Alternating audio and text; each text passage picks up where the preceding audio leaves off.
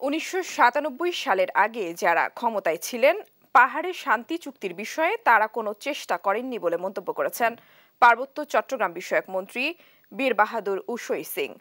সকালে শান্তি চুক্তির পঁচিশ বছর পূর্তি উপলক্ষে ধানমন্ডির বত্রিশ নম্বরে জাতির জনক বঙ্গবন্ধুর প্রতিকৃতিতে শ্রদ্ধা জানিয়ে এমন মন্তব্য করেন। তিনি আরও বলেন, যুদ্ধের বদলে যুদ্ধ নয় শান্তি মূলমন্ত্র পাহাড়ের অবস্থা আগের মতো অশান্ত নয় বলেও জানান তিনি। বলেন, পার্বত্য এলাকায় সবাই মিলে মিলেমিশে নিজ ধর্ম আর গোষ্ঠীর আচার সংস্কৃতি পালন করছে।